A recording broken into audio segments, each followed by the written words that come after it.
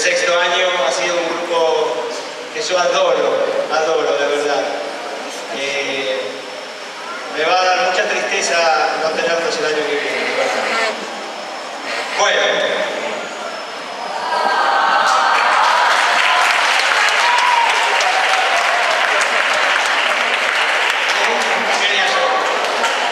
De verdad, lo voy a extrañar mucho. Eh, lo que vamos a ver hoy es una rareza.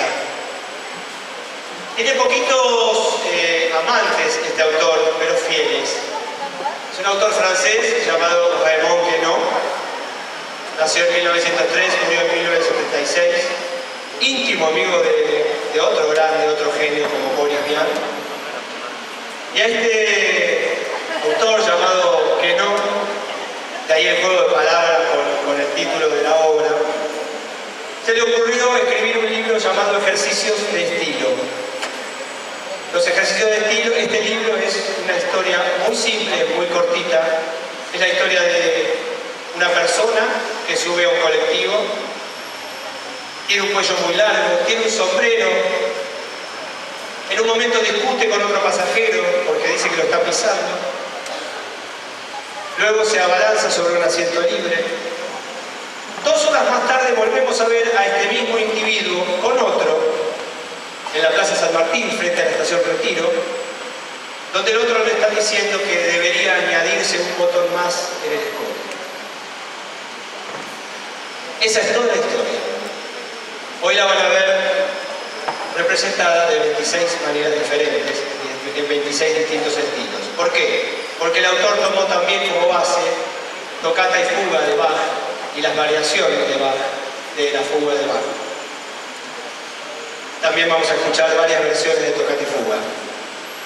Se me ocurrió montar este espectáculo, son generalmente monólogos y espero que lo disfruten.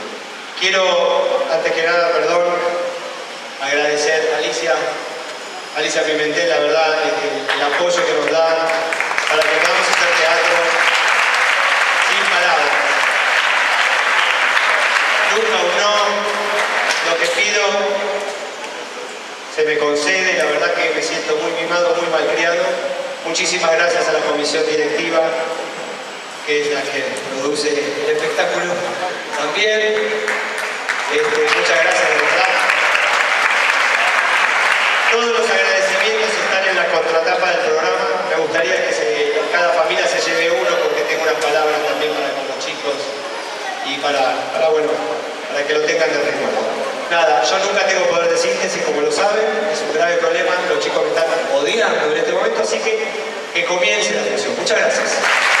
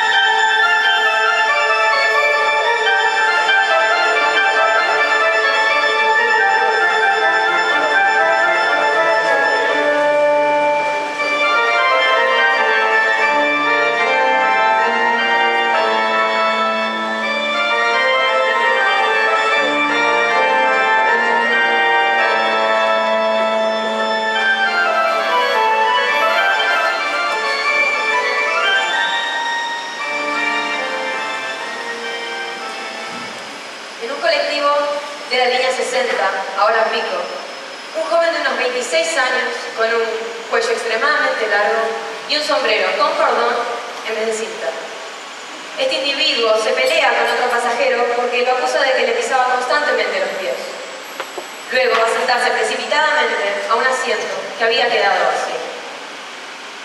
Dos horas más tarde se lo vuelve a ver a esta misma persona, enfrente de la Plaza San Martín, cerca de la estación de retiro, o hablando con otro hombre sobre un botón que se le añade en el abrigo.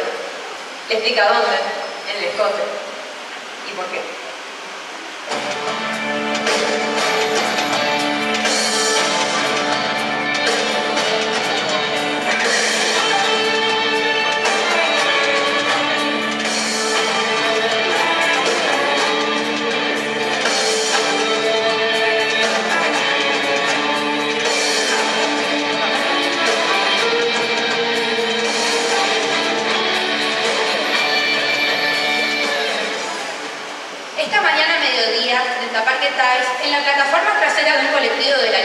24, actualmente la 60, se observó un joven de cuello bastante largo que llevaba un cordón de fieltro con cordón trenzado en vez de cinta. Este personaje interpeló el golpe por raso a otro, pretendiendo que lo pisoteaban adrede cada vez que subían y bajaban las escaleras. Pero abandonó rápidamente la conversación para lanzarse sobre un asiento que había quedado libre. Dos horas más tarde, se lo volvió a ver frente a la estación Retiro, conversando con un amigo que le aconsejaba disminuirse el escote de su abrigo, haciéndose subir el primer botón por un sastre competente. Informa para CNN Victoria Morrone.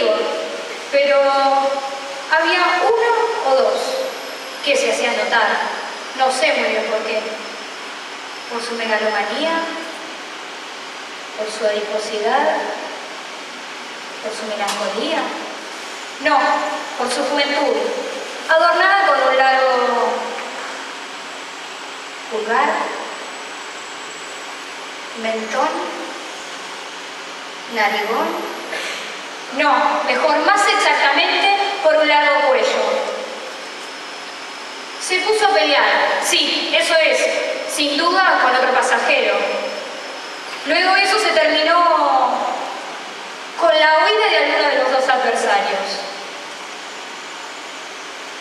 Estoy casi segura de que me volví a encontrar ese mismo personaje en una iglesia,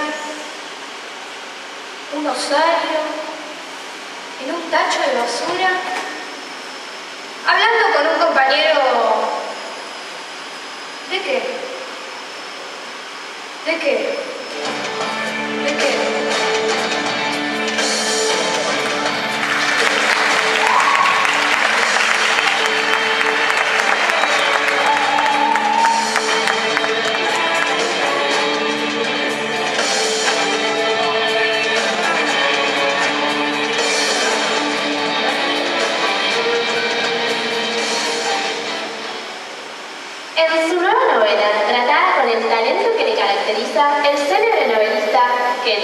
A quien debemos ya tantas obras maestras, se ha esperado presentar personajes únicos que se mueven en una atmósfera comprensible para todos, grandes y chicos. La intriga gira pues en torno al encuentro en un colectivo del héroe de nuestra historia con un personaje de lo más enigmático que se pelea con el primero que llega. En el episodio final se ve a este misterioso individuo escuchando con la mayor atención los consejos de un amigo, modelo de elegancia. La novela en su conjunto produce una sensación encantadora del novelista que no ha cincelado con notable fortuna.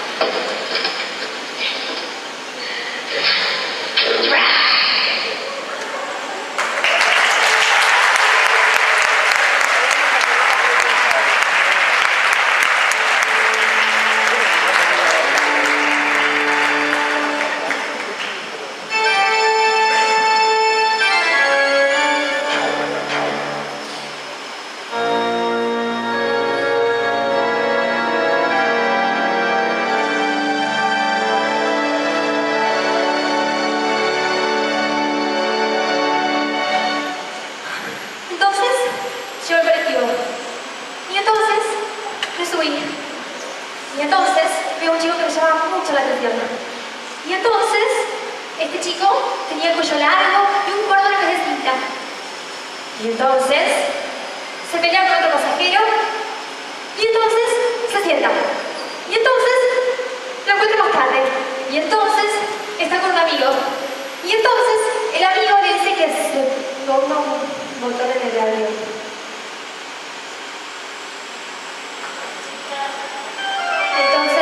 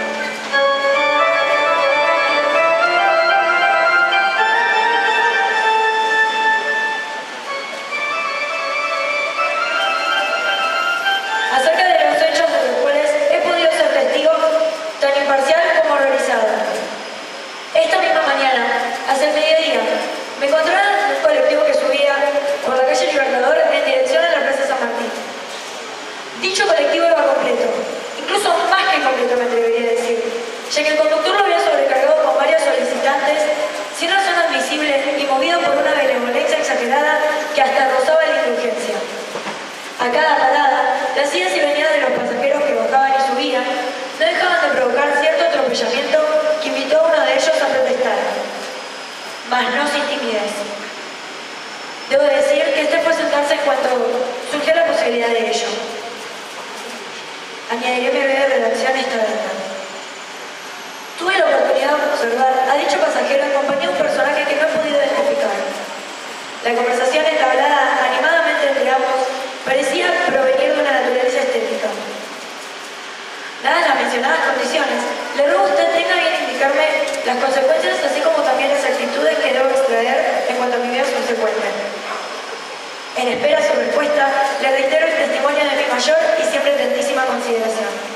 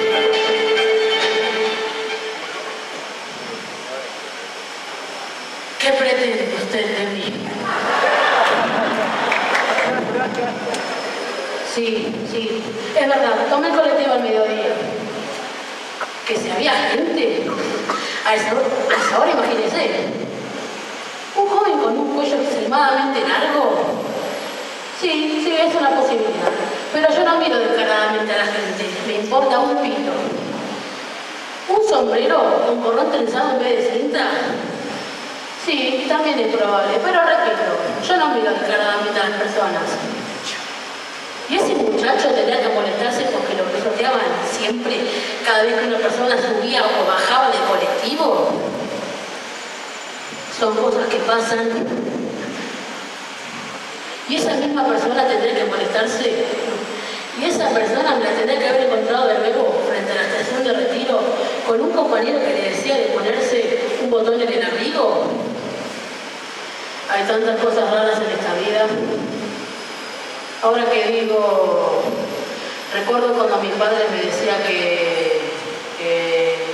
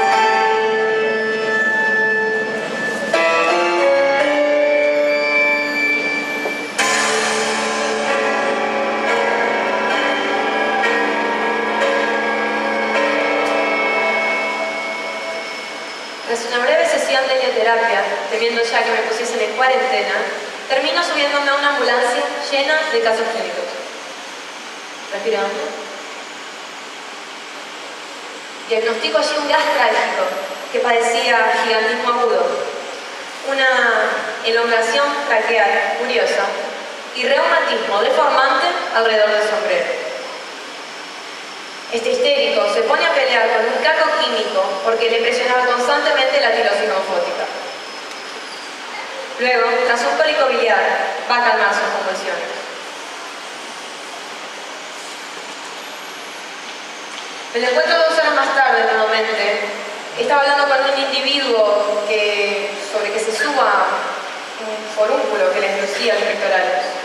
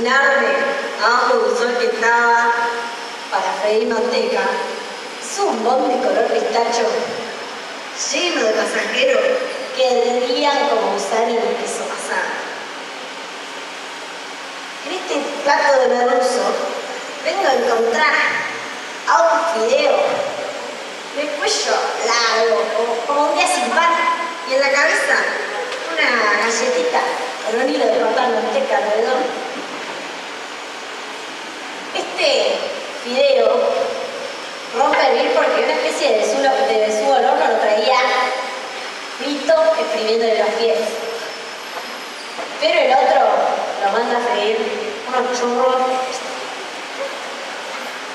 Y se escapa y se mete en un molde que había quedado vacío.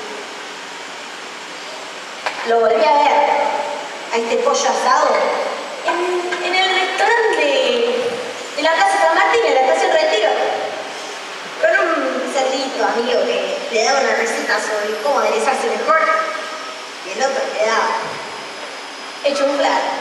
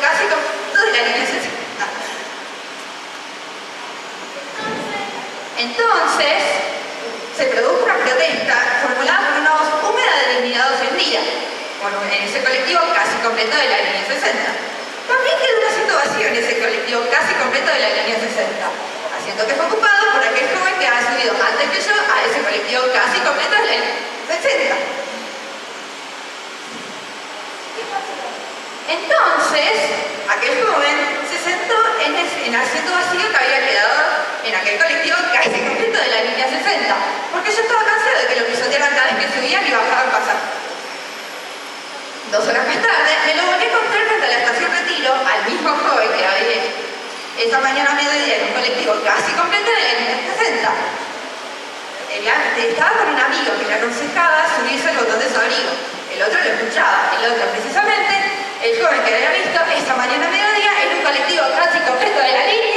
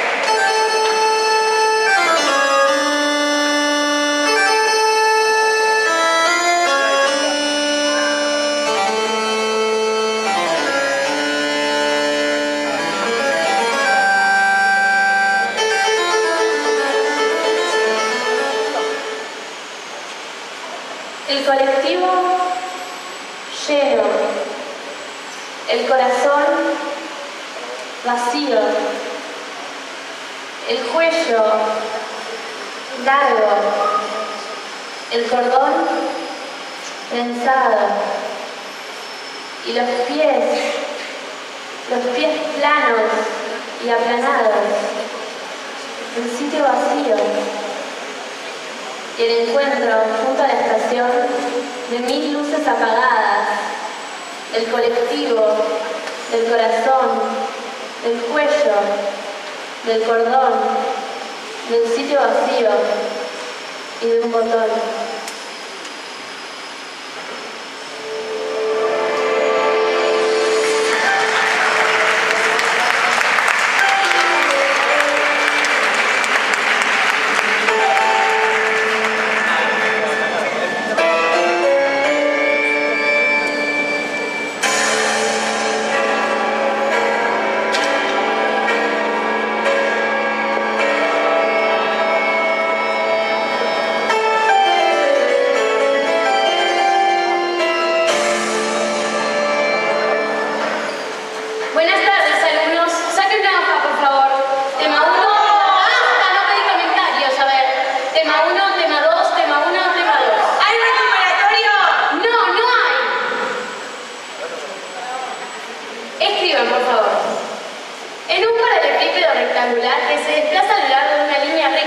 Ecuación x igual y, se presenta un ovoide A que presenta un casquete esférico rodeado por dos sinusoides sobre una base cilíndrica de longitud n mayor a 1.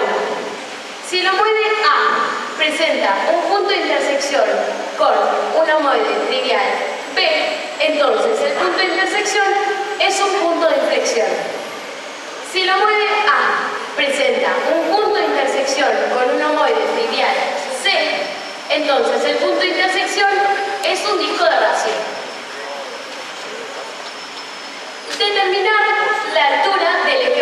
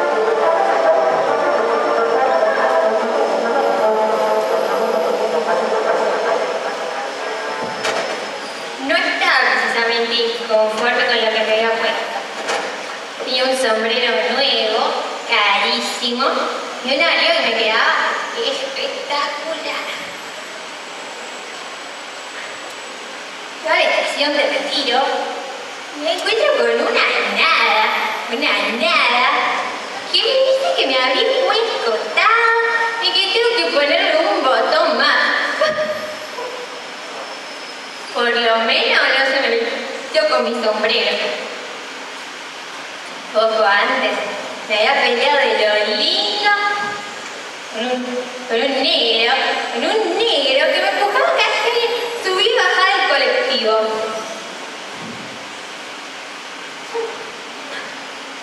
Eso me pasó en uno de esos colectivos inmundos que se llenan de negro a la hora que yo tengo que usarlo.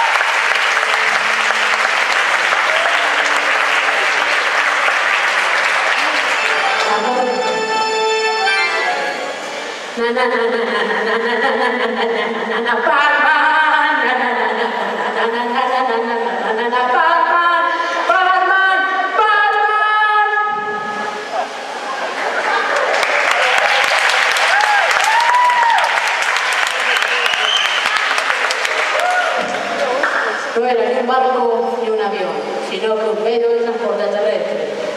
Ni un auto, ni un tren, sino que un colectivo. No era ni por la mañana, ni tampoco por la noche, tampoco al mediodía, tampoco a la tarde, sino al mediodía.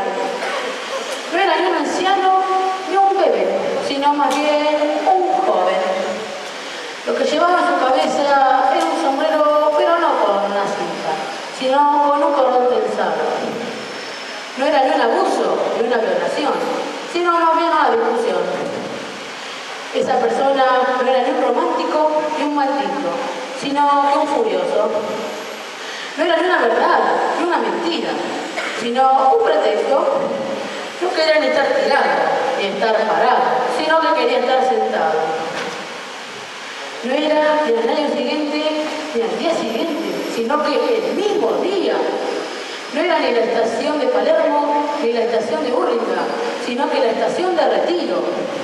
No era ni un enemigo, ni una pareja, sino que un compañero. No era ni un poema, ni un insulto. ¡Santas cachuchas! Era un consejo sobre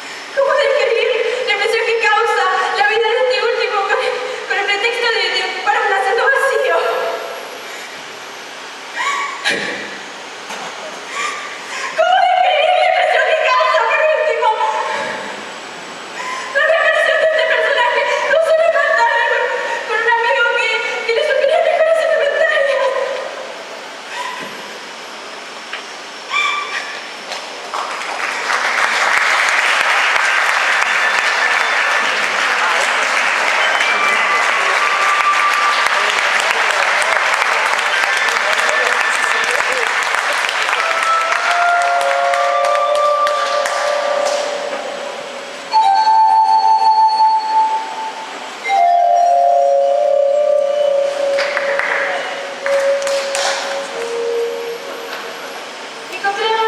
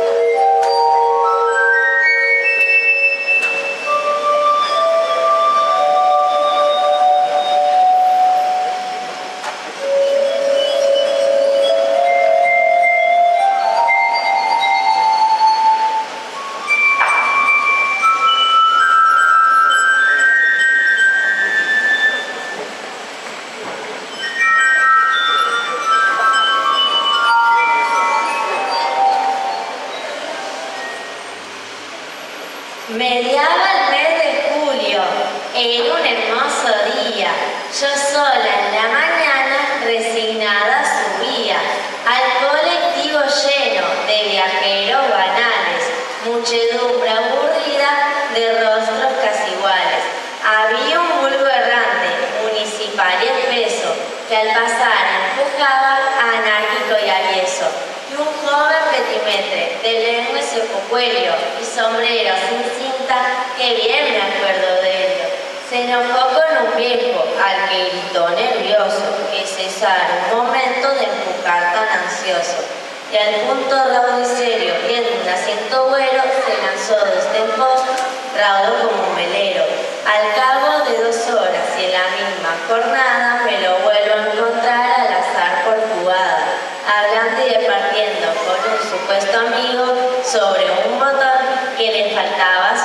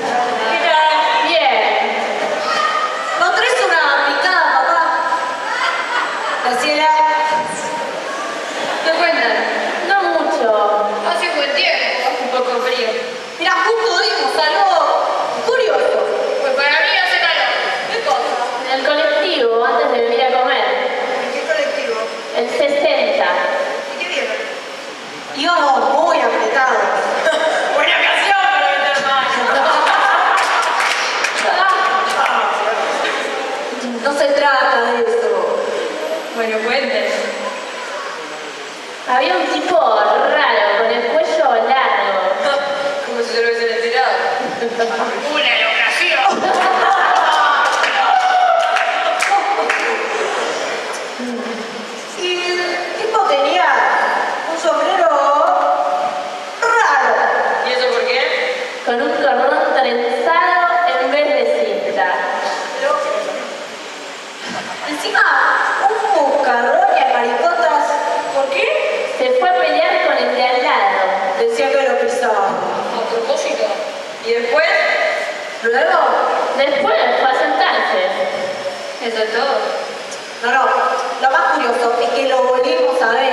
mariposón.